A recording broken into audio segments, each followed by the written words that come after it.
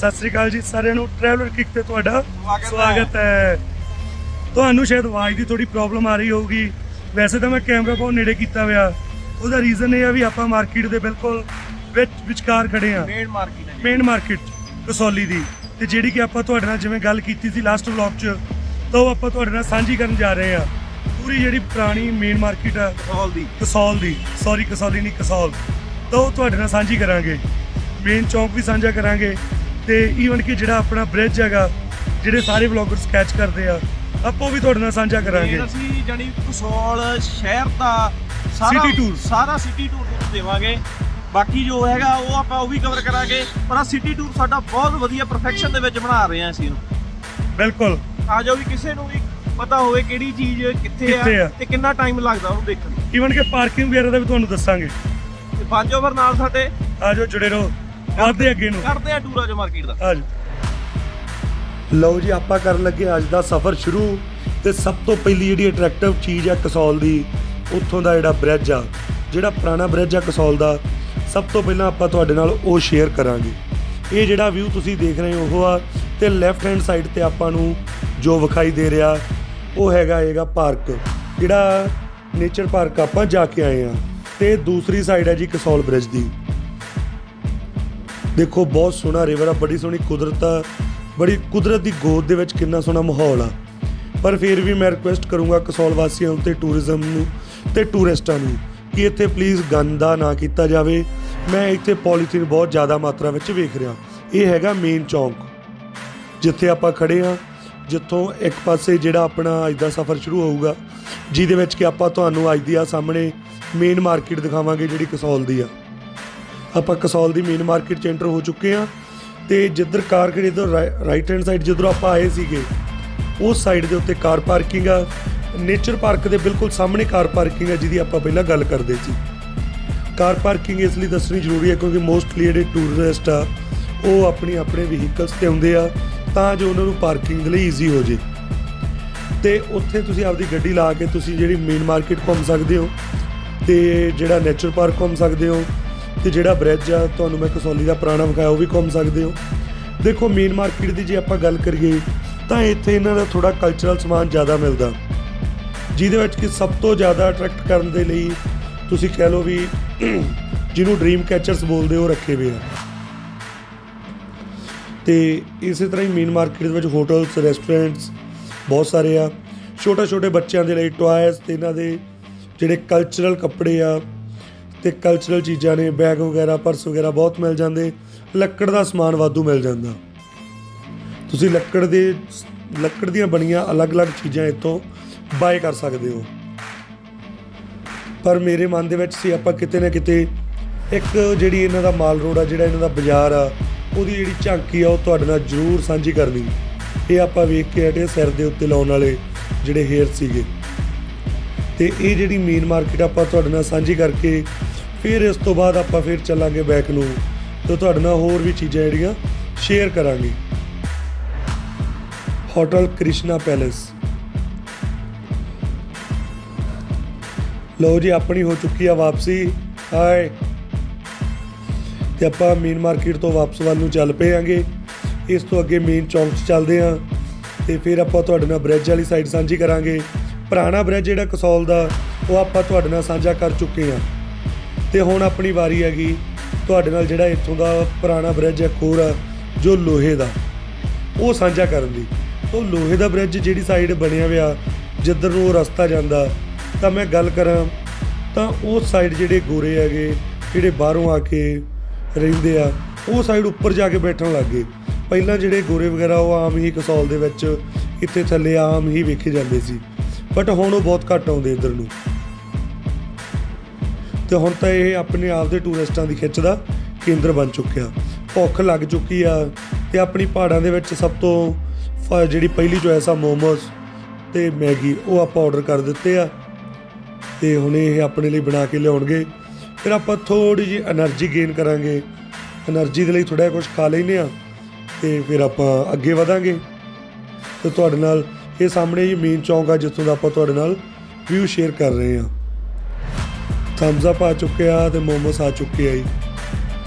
ਥੋੜੇ ਮਰੀਅਲ ਜੇ ਬਣਾਏ ਆ ਇਹਨਾਂ ਨੇ। ਚਲੋ ਕੋਈ ਨਹੀਂ, ਕਰਦੇ ਪੇਟ ਪੂਜਾ, ਫਿਰ ਕਾਮ ਦੂਜਾ।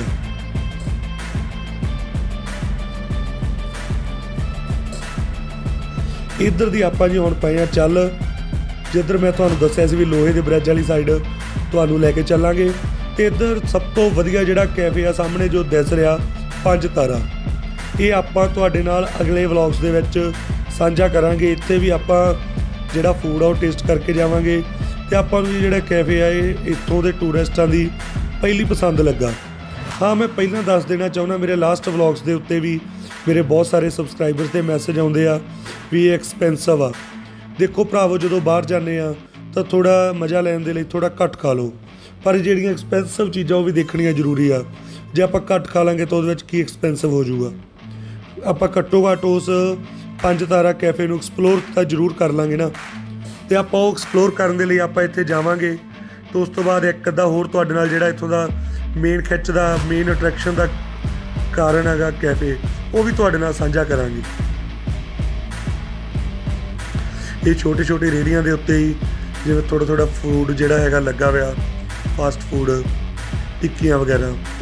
ਤੇ ਬਾਰਿਸ਼ ਥੋੜੀ ਥੋੜੀ ਹੋ ਚੁੱਕੀ ਹੈਗੀ ਤਿਲਕਣ ਵੀ ਥੋੜੀ ਹੋ ਚੁੱਕੀ, ਸਲਿੱਪਰੀ ਬਣ ਚੁੱਕੀ ਆ।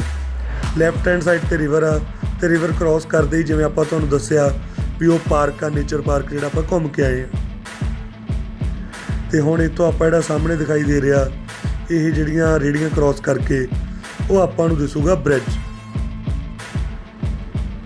ਤੇ ਉਹ ਸਾਹਮਣੇ ਨੇਚਰ ਪਾਰਕ ਵਾਲਾ ਪਾਸਾ ਆ ਚੁੱਕਿਆ ਹੈਗਾ, ਜਿੱਥੇ ਟੂਰਿਸਟ ਮੇਨ ਜਿਹੜੀ ਜਗ੍ਹਾ ਜਿੱਥੇ ਬੈਠ ਕੇ ਪਾਣੀ ਨਾਲ ਇੰਜੋਏ ਕਰਦੇ ਆ।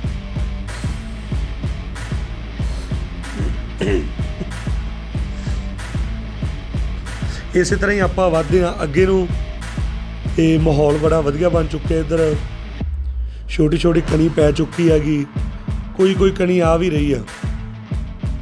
ਤੇ ਇੱਥੇ ਜੇ ਮੈਂ ਗੱਲ ਕਰਾਂ, ਤੁਸੀਂ ਹਲਕਾ ਫੁਲਕਾ ਇੱਥੇ ਵੀ ਖਾ ਸਕਦੇ ਹੋ, ਜੇ ਕੈਫੇ ਵਗੈਰਾ ਨਹੀਂ ਜਾਣਾਗਾ। ਇਹ ਸਾਹਮਣੇ ਜਿਹੜੀਆਂ ਖੱਚਰਾਂ ਖੜੀਆਂ, ਜਿਵੇਂ ਮੈਂ ਤੁਹਾਨੂੰ ਪਿੱਛੇ ਬੋਲ ਕੇ ਹਟਿਆ, ਦੱਸ ਕੇ ਹਟਿਆ ਕਿ ਉੱਪਰ ਜਾਣ ਵਾਸਤੇ ਜਿਹੜੇ ਪੈਦਲ ਨਹੀਂ ਜਾ ਸਕਦੇ ਤਾਂ ਉਹ ਇਹ ਖੱਚਰਾਂ ਦਾ ਇਸਤੇਮਾਲ ਕਰ ਸਕਦੇ ਆ। ਲਓ ਜੀ, ਇਹ ਬ੍ਰਿਜ ਹੈ ਜਿਹੜਾ ਮੈਂ ਮੇਨ ਵੇਖਣਾ ਚਾਹੁੰਦਾ ਜੀ ਕਸੌਲ ਦਾ। ਤੇ ਲਓ ਜੀ, ਮੇਰੀ ਇੱਛਾ ਵੀ ਹੋ ਗਈ ਪੂਰੀ, ਤੇ ਇਸੇ ਦੇ ਨਾਲ ਤੁਹਾਡੀ ਇੱਛਾ ਵੀ ਪੂਰੀ। ਤੇ ਆਪਾਂ ਇਹ ਕਸੌਲ ਦਾ ਜਿਹੜਾ ਬ੍ਰਿਜ ਆ ਲੋਹੇ ਦਾ, ਉਹ ਤੁਹਾਡੇ ਨਾਲ ਲੱਗੇ ਕਰਨ ਸ਼ੇਅਰ। ਤੇ ਇਹਦੇ ਉੱਤੇ ਜਿਹੜੀ ਹਵਾ ਹੈ, ਉਹ ਬਹੁਤ ਜ਼ਿਆਦਾ ਵਗ ਰਹੀ ਆ। ਬਹੁਤ ਹਵਾ ਵਗ ਰਹੀ ਆ।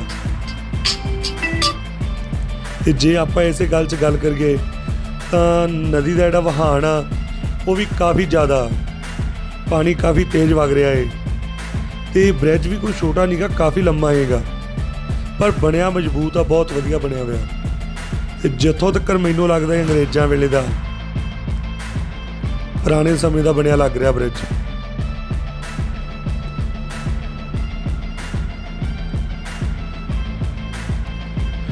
ਆਪਾਂ ਇਸੇ ਤਰ੍ਹਾਂ ਹੀ ਕੋਈ ਗੱਲ ਨਹੀਂ ਵਧਾਂਗੇ ਅੱਗੇ ਨੂੰ। ਦੇਖੋ ਸਾਹਮਣੇ ਕੈਫੇਸ ਵਗੈਰਾ ਦਿਸ ਰਹੇ ਆ। ਦੇਖੋ ਕਸੌਲ ਆ ਜਿਹੜਾ ਉਹ ਕੈਫਿਆਂ ਦੇ ਨਾਮ ਨੂੰ ਹੀ ਜਾਣਿਆ ਜਾਂਦਾ। ਇੱਥੋਂ ਦਾ ਜਿਹੜਾ ਮੇਨ ਅਟਰੈਕਸ਼ਨ ਦਾ ਕਾਰਨ ਆ, ਉਹ ਕੈਫੇਸ ਆ ਕੈਫੇ ਆ, ਮੌਸਮ ਆ ਤੇ ਨਦੀ ਆ ਤੇ ਬ੍ਰਿਜ ਇਹ ਇੱਥੋਂ ਦਾ ਮੇਨ ਅਟਰੈਕਸ਼ਨ ਦਾ ਕਾਰਨ ਆ। ਓਏ ਯੈਸ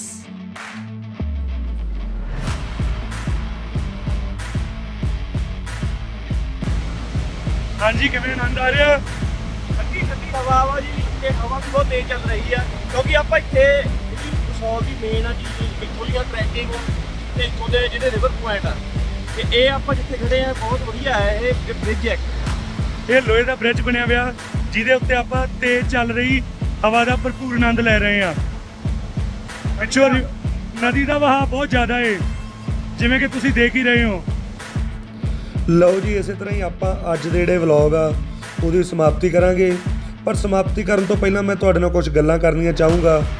ਕਿ ਜੇ ਤੁਹਾਨੂੰ ਜਿਵੇਂ ਅੱਜ ਦਾ ਵਲੌਗ ਜਿਹੜਾ ਚੰਗਾ ਲੱਗਾ ਤਾਂ ਮੈਨੂੰ ਕਾਈਂਡਲੀ ਮੈਸੇਜ ਕਰਕੇ ਜਰੂਰ ਦੱਸਿਆ ਕਰੋ ਤੇ ਲਾਈਕ ਤੇ ਸ਼ੇਅਰ ਕਰਨਾ ਨਾ ਭੁੱਲਿਓ। ਹਾਂ, ਤੇ ਇਹ ਜਿਹੜਾ ਵਲੌਗ ਹੈਗਾ ਉਹ ਆਪਣੇ ਫਰੈਂਡਸ ਨਾਲ ਸ਼ੇਅਰ ਜਰੂਰ ਕਰਿਆ ਕਰੋ ਤੇ ਚੈਨਲ ਨੂੰ ਸਬਸਕ੍ਰਾਈਬ ਜਰੂਰ ਕਰਾਓ। ਇਹ ਜਿਹੜਾ ਰਸਤਾ ਉਹ ਉੱਪਰ ਨੂੰ ਜਾ ਰਿਹਾ ਜਿਹਦੀ ਆਪਾਂ ਪਹਿਲਾਂ ਗੱਲ ਕਰਦੇ ਸੀ। ਵੀ ਜਿਹੜੇ ਨਹੀਂ ਚੜ ਕੇ ਜਾ ਸਕਦੇ ਉਹ ਖੱਚਰਾਂ ਰਾਹੀਂ ਪੇ ਕਰਕੇ ਜਾ ਸਕਦੇ ਆ। ਉੱਪਰ ਬਹੁਤ ਵਧੀਆ ਬਹੁਤ ਸ਼ਾਂਤ ਮਾਹੌਲ ਆ। ਦੇਖਦੇ ਹਾਂ ਜੇ ਸਮਾਂ ਮਿਲਿਆ ਤਾਂ ਉੱਪਰ ਵੀ ਜਾ ਕੇ ਆਵਾਂਗੇ ਤੋਂ ਵੀ ਤੁਹਾਡੇ ਨਾਲ ਸ਼ੇਅਰ ਕਰਾਂਗੇ। ਤੇ ਪਰ ਫਿਲਹਾਲ ਅੱਜ ਦੇ ਲਈ ਇੰਨਾ ਹੀ ਕਾਫੀ ਆ ਤੇ ਆਪਾਂ ਵਲੌਗ ਦੇ ਕਰਾਂਗੇ ਸਮਾਪਤੀ। ਤੇ ਕਾਈਂਡਲੀ ਜਿਵੇਂ ਮੈਂ ਤੁਹਾਨੂੰ ਪਹਿਲਾਂ ਦੱਸਿਆ ਹੈਗਾ ਵੀ ਛੋਟੀ ਛੋਟੀ ਕਮੀ ਰਹਿ ਜਾਂਦੀ ਹੈਗੀ ਤੇ ਕੁਝ ਛੋਟਾ ਛੋਟਾ ਵਧੀਆ ਵੀ ਹੋ ਜਾਂਦਾ ਕੁਝ ਗਲਤ ਵੀ ਬੋਲਿਆ ਜਾਂਦਾ ਕੁਝ ਚੰਗਾ ਵੀ ਬੋਲਿਆ ਜਾਂਦਾ ਕੁਝ ਮਾੜਾ ਵੀ। ਉਹਦੇ ਲਈ ਆਪਾਂ ਮਾਫੀ ਵੀ ਮੰਗਦੇ ਹਾਂ ਤੇ ਜੇਕਰ ਤੁਹਾਨੂੰ ਕੋਈ ਚੀਜ਼ ਪੈਂਡਿੰਗ ਰਹਿ ਜਾਂਦੀ ਕੋ ਦੇਖਣ ਵੱਲੋਂ। ਤਾਂ ਉਹ ਕਾਈਂਡਲੀ ਮੈਸੇਜ ਕਰਕੇ ਜਰੂਰ ਦੱਸਿਆ ਕਰੋ। ਸਤਿ ਸ੍ਰੀ ਅਕਾਲ ਸਾਰਿਆਂ ਨੂੰ।